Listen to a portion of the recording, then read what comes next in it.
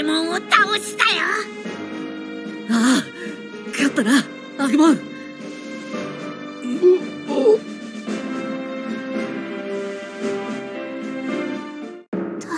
たたくまさんアグモンピエモンが。ああいつ立ち上がった。あんなに傷だらけなのに。まだそんな力が残っているのかなんてすごい執念なんだ。お前たちよくも。すすごい目でこっちを睨んでる。たくまどうする？どうするったって。僕とアグモンだけじゃん。これ以上どうしようも。僕ならまだ大丈夫たくまのためならいくらだって戦える。アグモンやっぱりみんなが仲間が一緒じゃないとダメなのか。二人とも諦めないで。みゆき。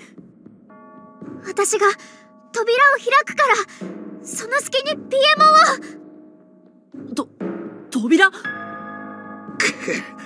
見込め。何をする気だ？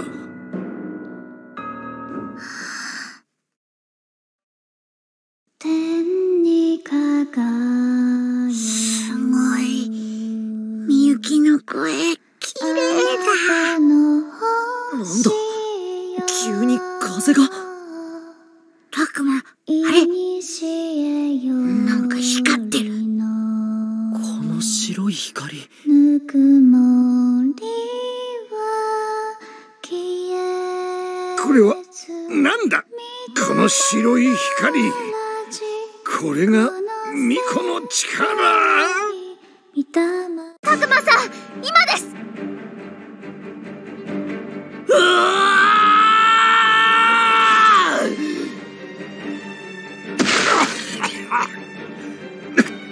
何をする決まってるこのまま向こうの世界に返すんだやめろ。やめろ。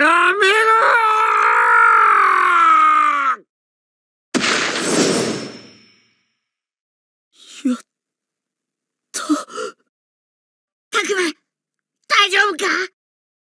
あ僕は平気。よかった。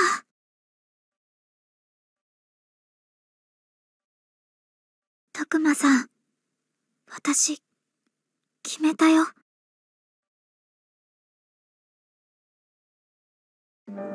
き決めたって何を？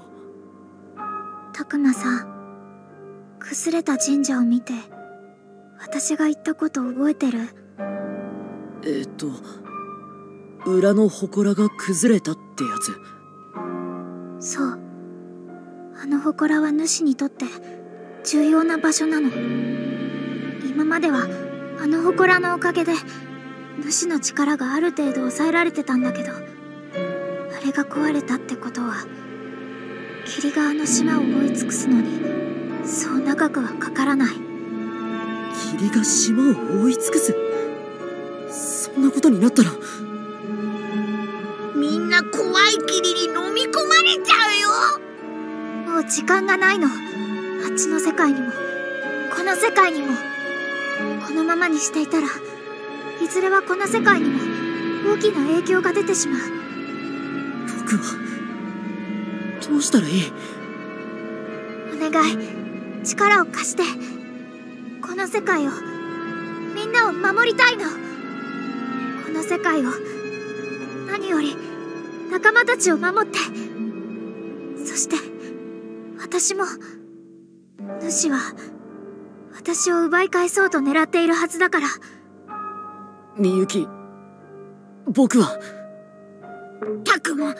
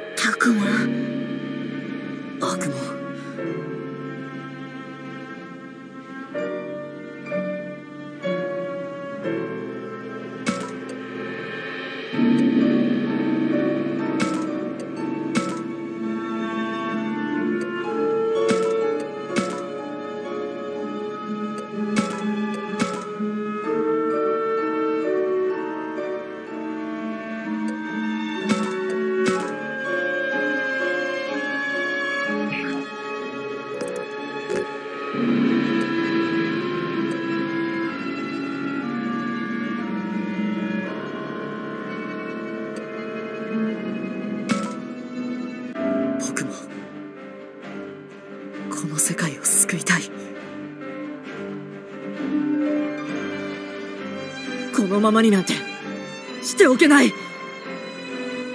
タクマそれじゃあ僕たちと一緒に主と戦うんだね。ああもちろんだよ。あっちの世界に戻ってみんなと一緒に戦おう。仲間と一緒なら怖くたって平気だ。だから僕はみゆきを手伝うよよ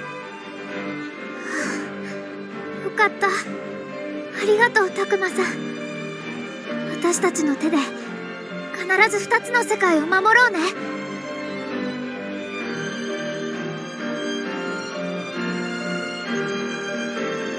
それでまずはどうすればいいんだ？簡単だよ。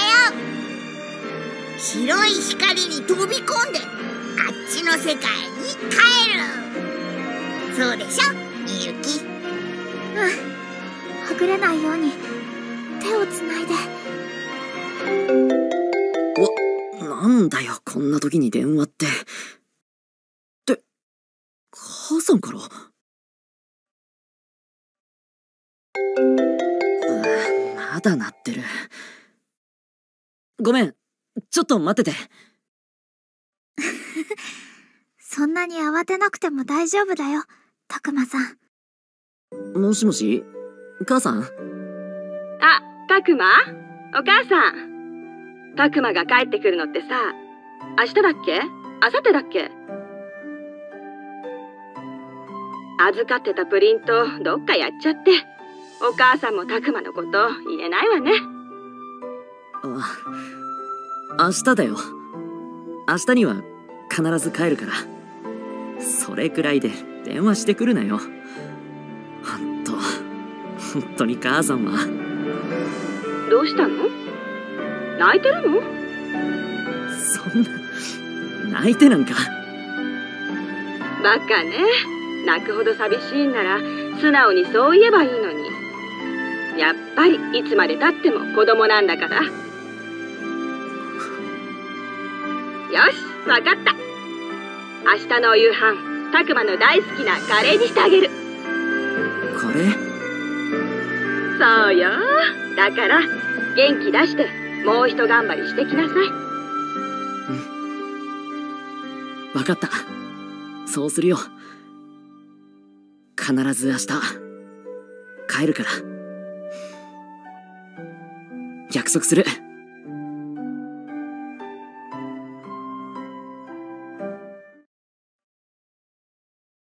ごめんみゆき。一つ訂正させて。みゆきを手伝うって言ったけどあれ間違ってた。手伝うんじゃない。僕たちが僕たちの手で。一緒に救おう。僕も一緒に救うぞ。たくまさん僕もありがとう。それじゃあ今度こそ戻ろうみんなが待つ。あの世界へ。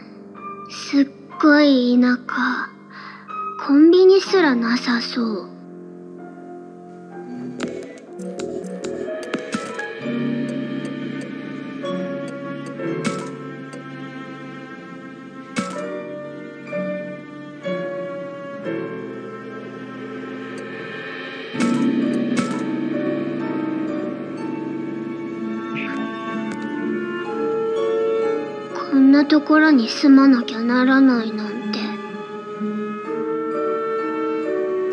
都会は想像しかっただろむしろミユにとってここの方がいいはずだ。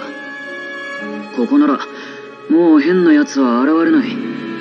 安心だろ？ストーカーならまだいるよ。どういうことだ？まさか別の奴がミユを？ちゃんがね。は？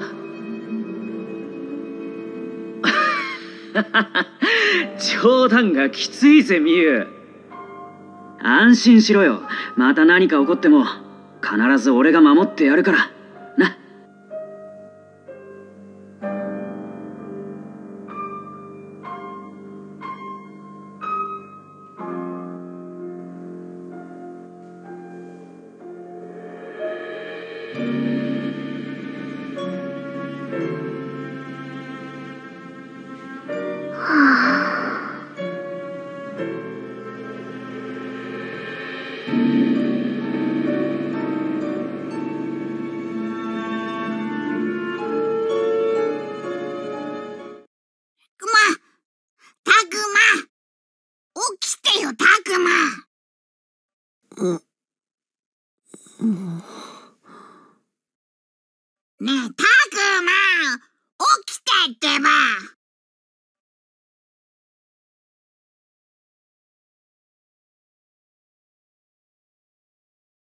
アグモンここは僕たちの世界みたい。ねえちゃんと戻れたんだよ。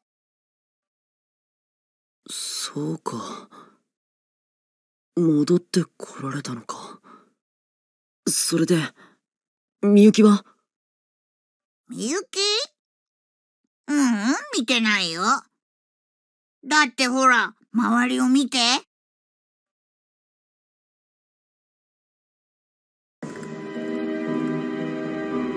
こう霧が濃いと何もわからないな。なんだか前よりも霧が濃い気がする。たくま早くここから離れよう。さっきから霧がどんどん濃くなってる。ああ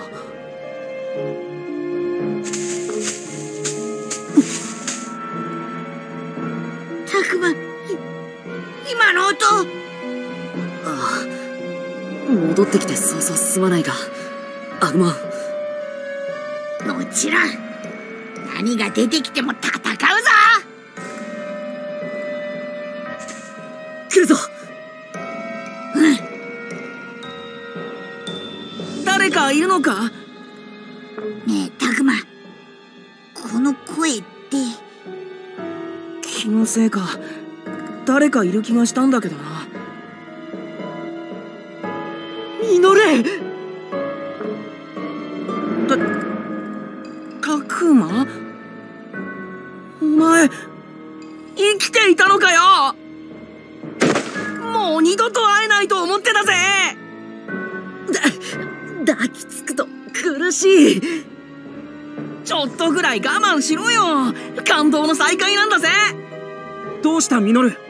今タクマと言ったか。ファルコモンだ。ハグモそれにタクマも。本当に生きていたのか。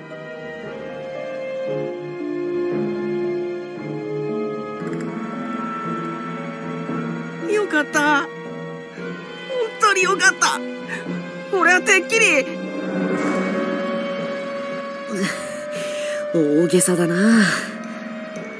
ところで他のみんなは？ああ無事だ。安心してくれ。葵さんやカイトミユとサキ教授。もちろんラブラモンやドラクモンたちも無事だ。みゆきは？ああそのみゆきはおおうみゆきの姿は見てないけど。そっか。じゃあその話は後でってことで。ともかく一度みんなと合流しようぜ。タクマが生きていたって知ったらみんなすっげえ喜ぶからさ。分かった。行こう。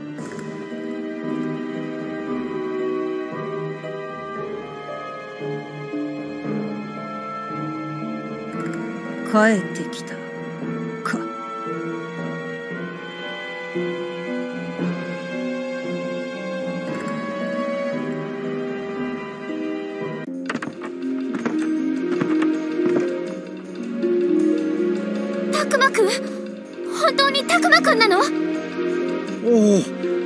だったのか。う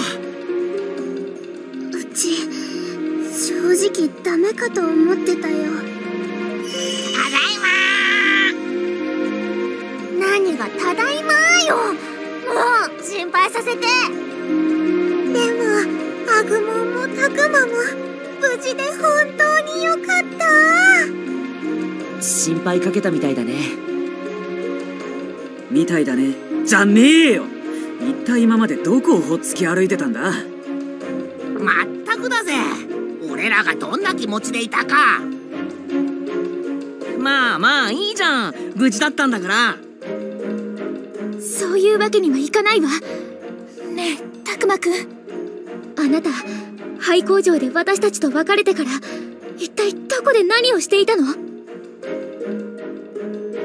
この10日もの間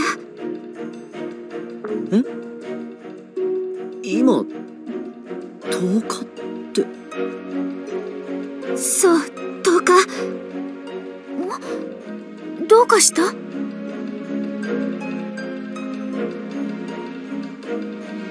答えて。できるだけ詳しく。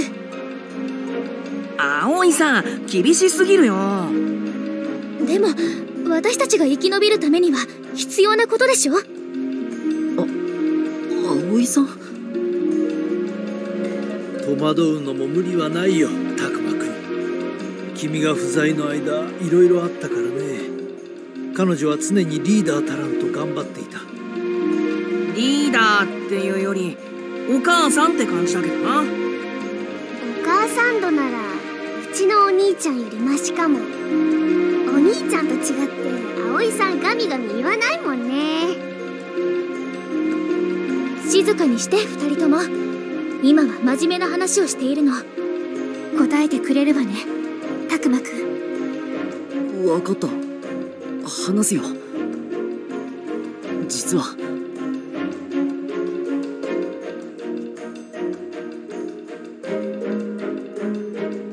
元の世界に戻っていたってわけ？ああ。でも僕が向こうにいたのはほんの数時間だけだったんだ。だから驚いたんだよ。こちらでは10日も経過してただなんて常世と写し世では時の流れが違うかまるで浦島太郎だな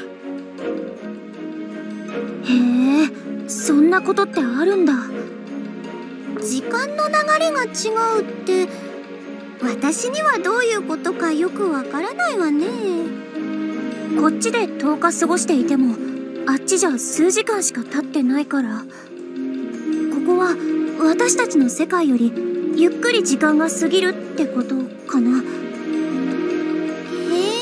えなるほど。だったらこのままここにいれば私もさっき？平気だよフローラも。私は平気。ええそうよね。みんなが無事なうちに戻ってこられてよかったよ。違いない。もっとも無事とは言い難いのだがね。状況はそんなに悪いんですか？霧がどんどん濃くなってきているのよ。まるで私たちが欲しくて欲しくてたまらないように。いずれこの校舎も飲み込まれちゃう。それだけは間違いない。ねえねえ一つ気になるんだけどさ元の世界に戻れたならどうしてもう一度この世界に帰ってこようと思ったの？元の世界でピエモンが暴れていたのを僕たちは見たんだ。あの野郎カイトたちの世界でまで悪さしてたってのか？もうこの世界だけの話じゃなくなっているってことね。ああこのままじゃ元の世界も危ない。霧に包まれたこっちの世界が元の世界に悪影響を及ぼしてしまう。だから僕は戻ってきたんだ。みんなを助けるために世界を救う。なんてできるかわからないけど。それでも知ってしまった以上見て見ぬふりはやっぱり僕にはできない。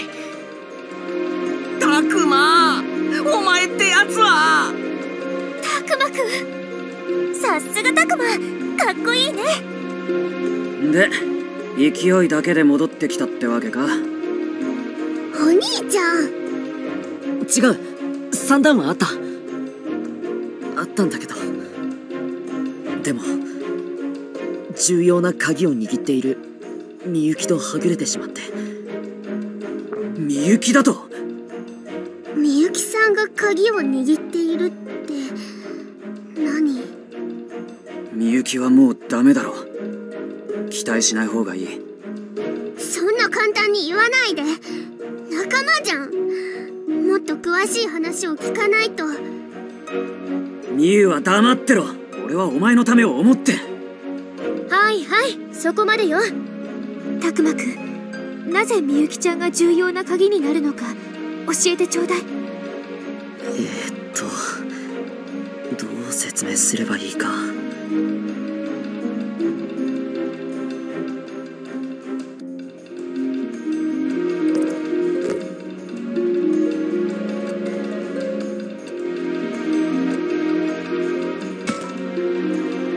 元の世界に戻るにはみゆきが知っている歌が必要なんだ。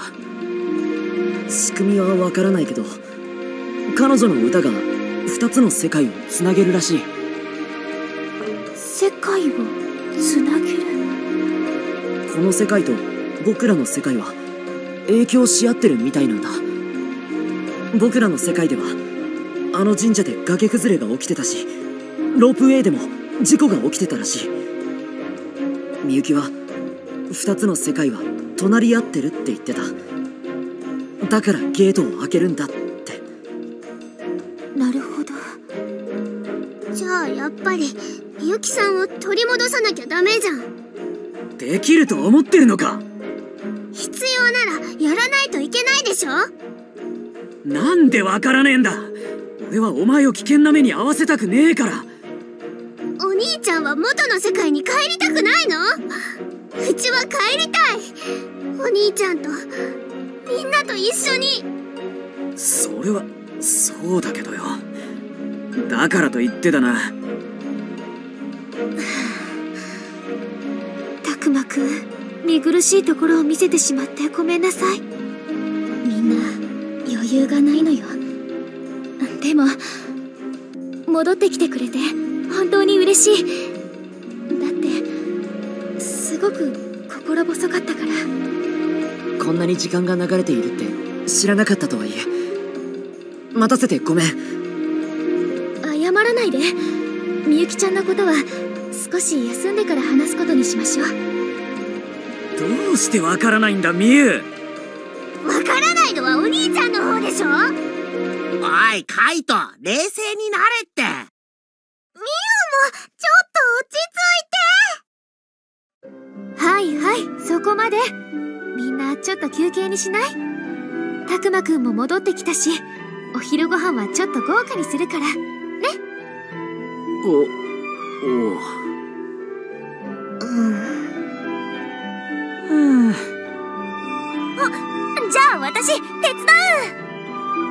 私も私も手伝うわ。しょうがないわねさきが手伝うなら私もやるわ。ありがとう。お願いね。それじゃあ準備ができるまでおとなしく待っててね。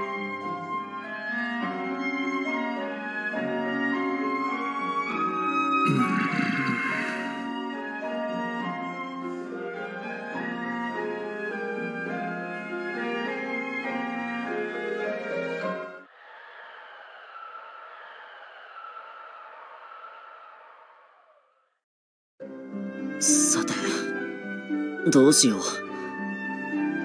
葵のご飯ができるまで待つんじゃないのか？うん。でもその前に話を聞かないとさ。話って教授え？よくわかったね。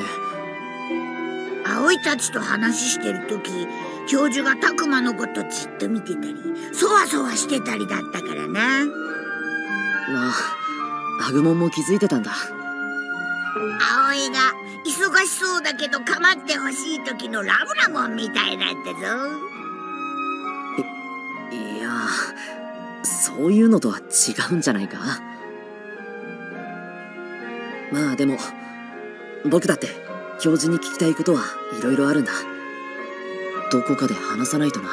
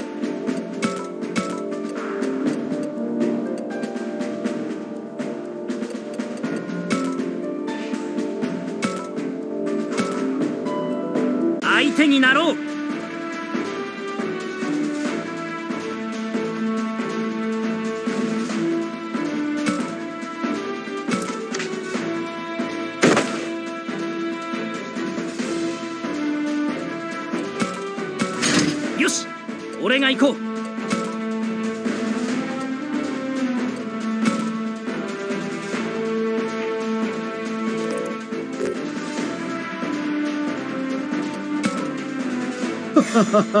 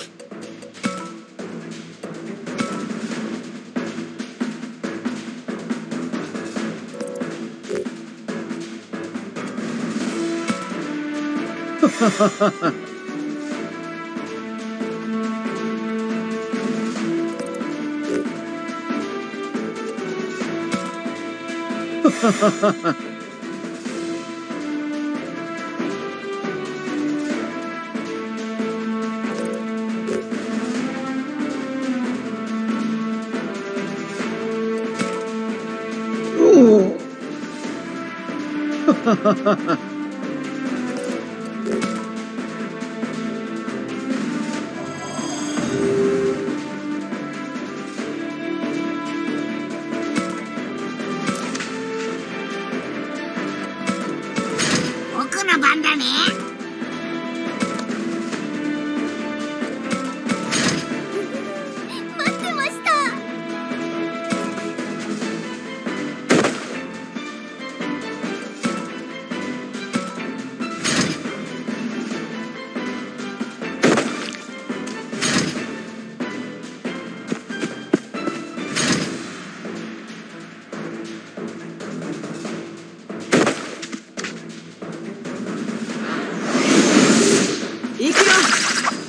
Ooh.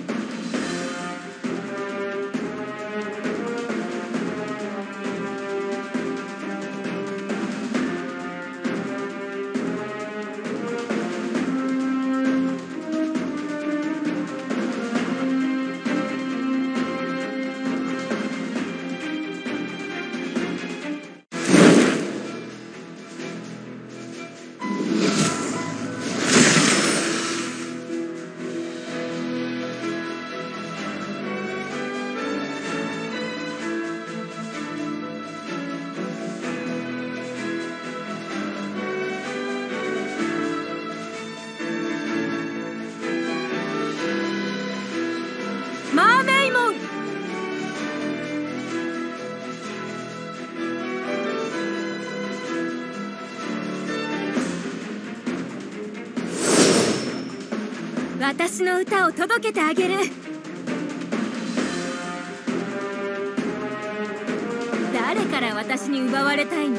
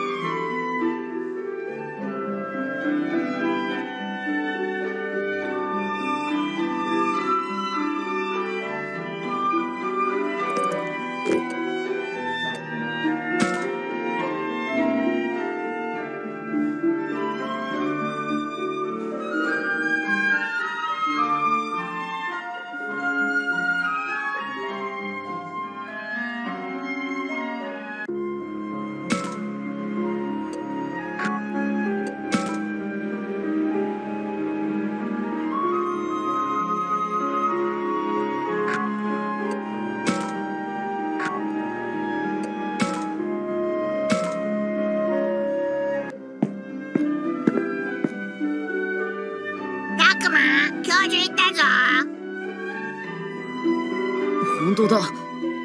教授。おやたくまくんにアグモンああすまない。もしかして探させてしまったかな？ああいえ。見当たらなかったのでつい探してしまいました。壁画調べていたんですか？うん。ここ1層目と一つ下の2層目のものについてはかなり調査が進んだと思うよさらについ先日3層目も発見しそこでも壁画を見つけたんだ。すごい。もしかして何か分かったんですか？うーんどうかな。今の状況に役立つかわからないが。よければ聞かせてもらえませんか？ではどこから説明しようか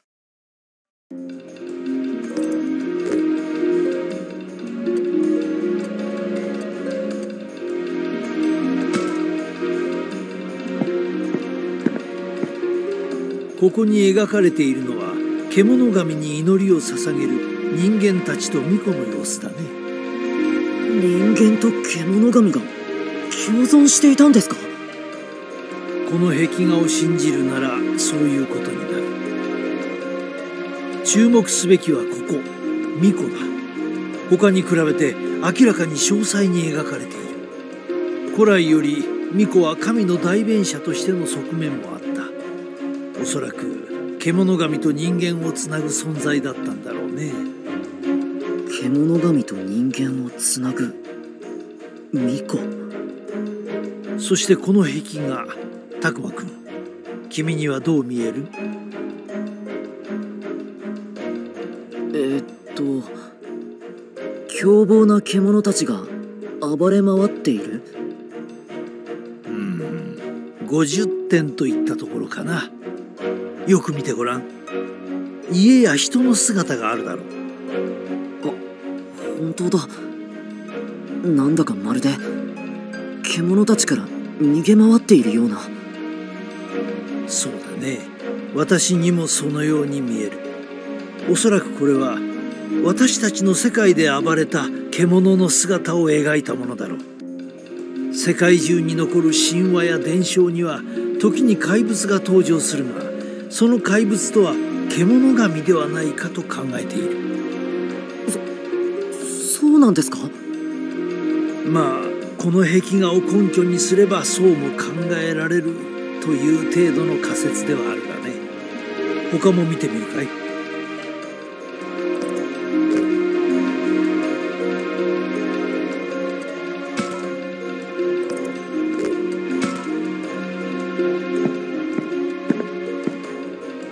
区切られた2つの領域とそれぞれに立つ人型と獣たち。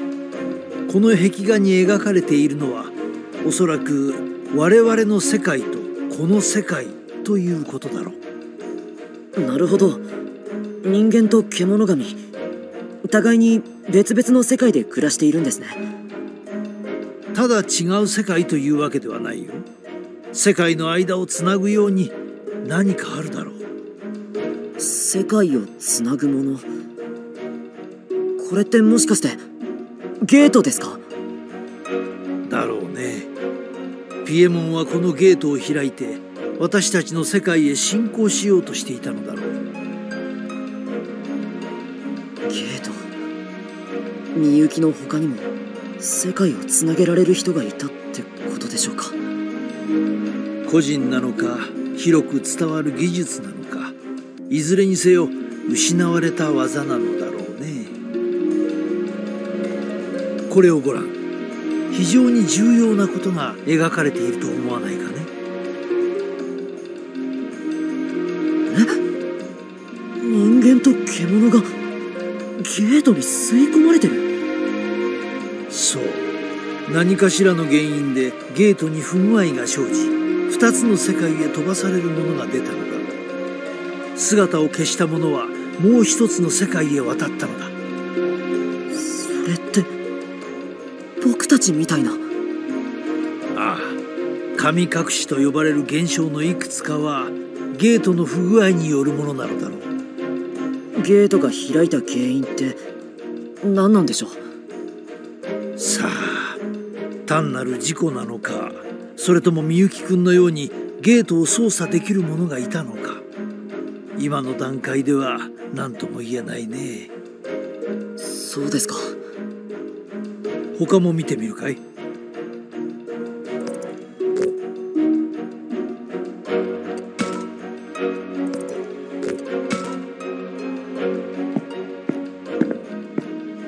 実はこの階層の調査はまだほとんどできていなくてね。壁画についても分かっていることは少ないんだよその上で解説するとこの壁画は何やら物騒に見えるね。そうですね。人間と獣でしょうか。みんな慌ててるように見えます。うん。何か大きな力によって多くの者が悲しむような事態になった。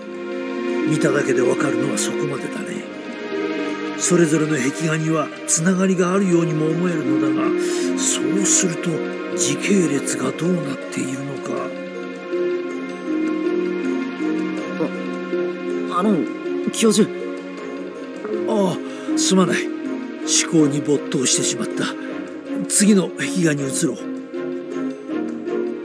ととはいえだ。この壁画はあまりに謎が多いでしょうか。下の方では人間たちが苦しんでて上の方はこれも獣神でしょうか。うん。大陸から伝わった伝承に指針というものがある。この獣神はその指針の特徴と合致するような。それにこの上下に分かれた構図も気になる。古来より上は楽園下は冥府を意味するものだが。うん何とも言えんな。こじつけレベルの解釈しかできない。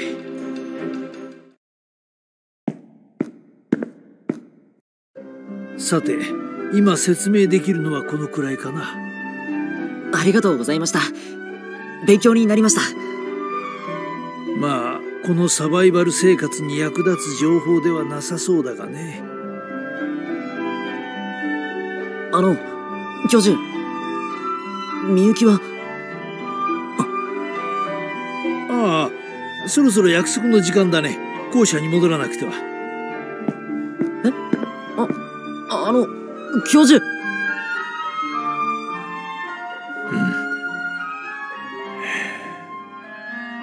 きたいことが何なのかは分かっているがそれは些細な話に過ぎないよ。今は目的のためだけになることを知っていればいい。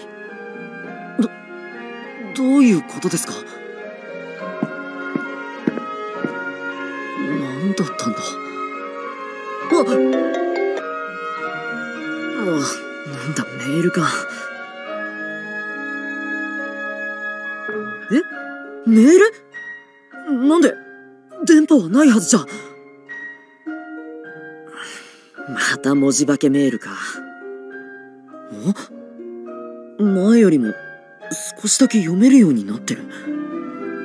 ところどころ読めなくもないような。たくまみんな待ってるんじゃないのか？あそうだった。すぐ行こう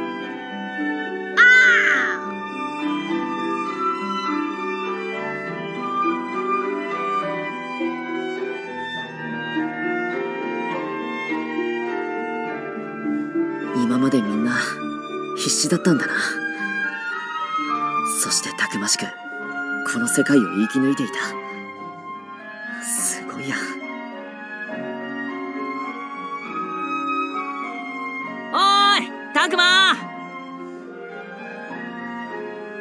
ミノル。みんなと話してきたんだろ？どうだった？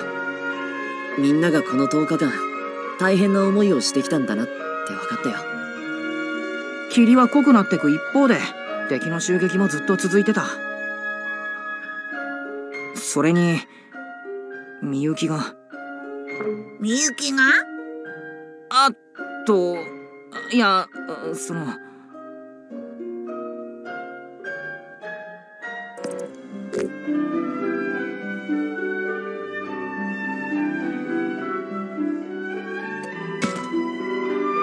みんな濁してるけどどうしてみゆきのことを話したがらないんだ？そ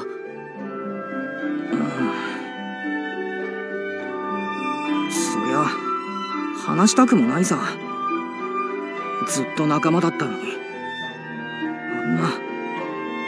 どういうことだ？そうだな。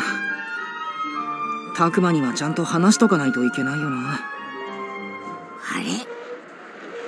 ねえねえたくま霧がまた濃くなってない？本当だ。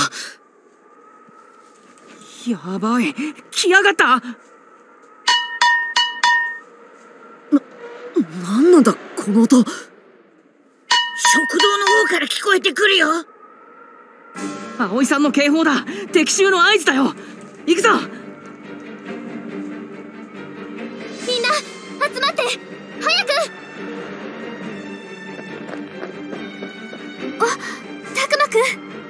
遅いわよあなたたち。ごめん。何が起きたんだ？たくまくんどうやら約束を果たせそう。約束って？みゆきちゃんのこと後で話すって言ったでしょ。彼女ならあそこにいる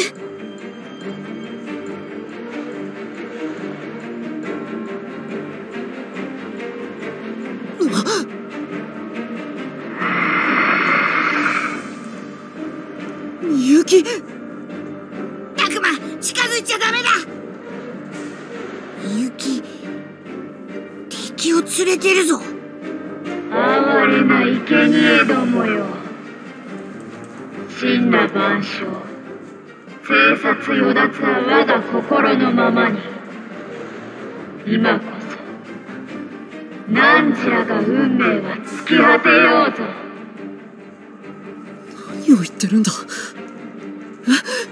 え？みゆきどうしちゃったんだよ？みゆきみゆきちゃんは主のよりしろになっているのよ。意識を乗っ取られている。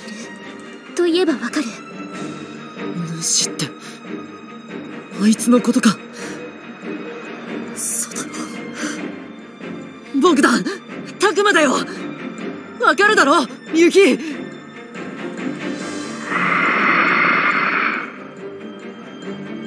をしてくれって。なあユキ。たくまくんショックかもしれないけどこれが私たちがこの数日向き合ってきた現実なの。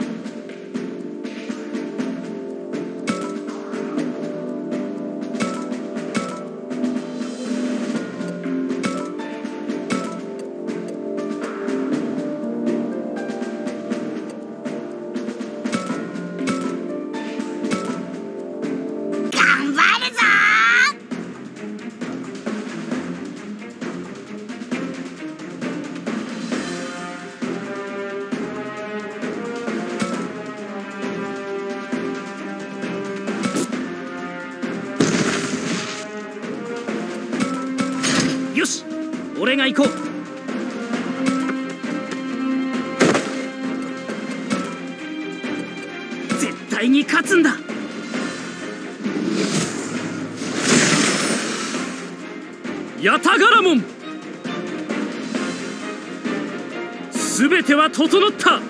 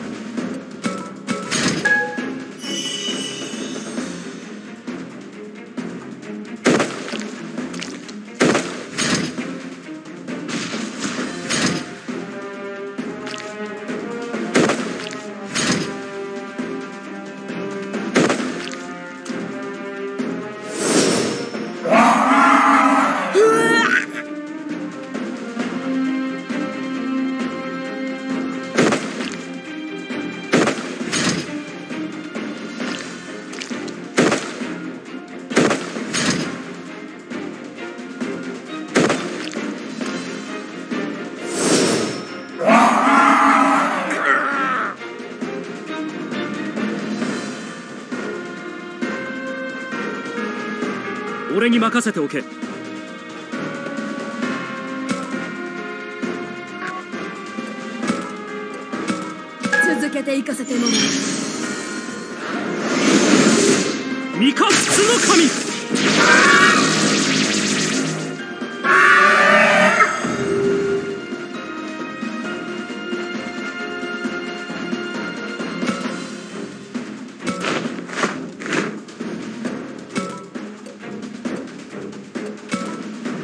私が動こう。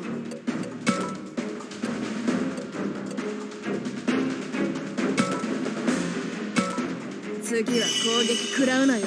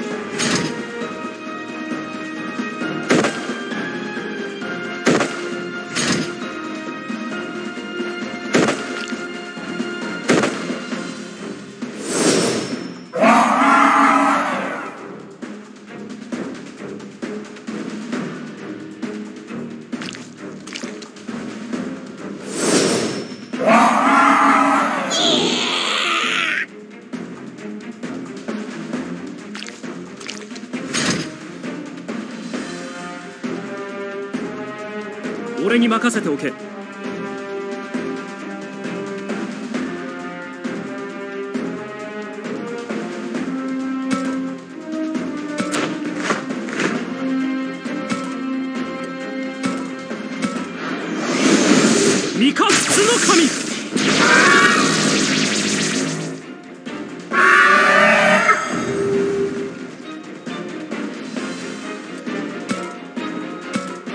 私が動こう。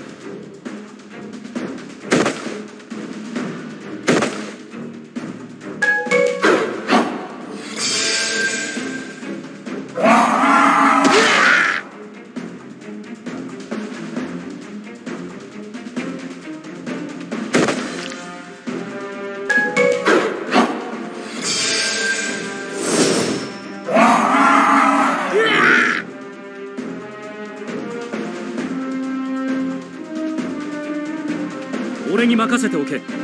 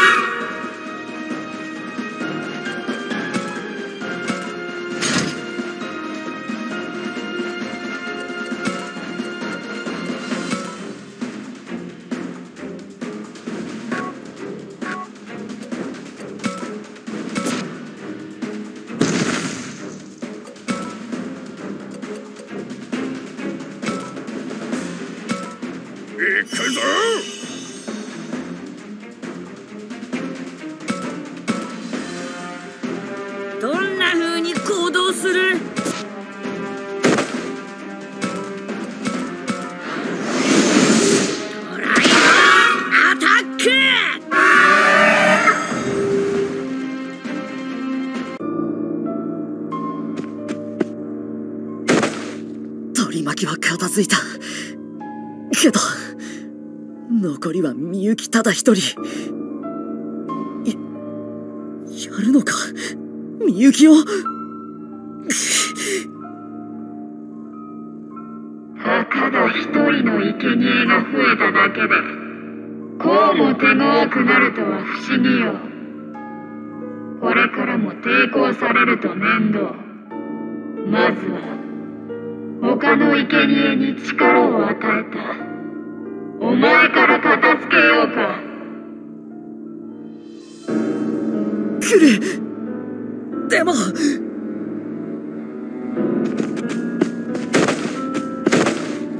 何やってんだよタクマこのままだとお前やられちまうぞ。だけどみゆきはみゆきだ。倒せるわけがないじゃないか。